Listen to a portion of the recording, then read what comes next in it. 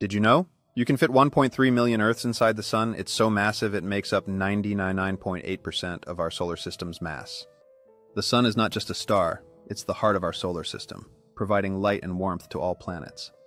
These solar flares are powerful bursts of energy that can impact technology on Earth and create beautiful auroras.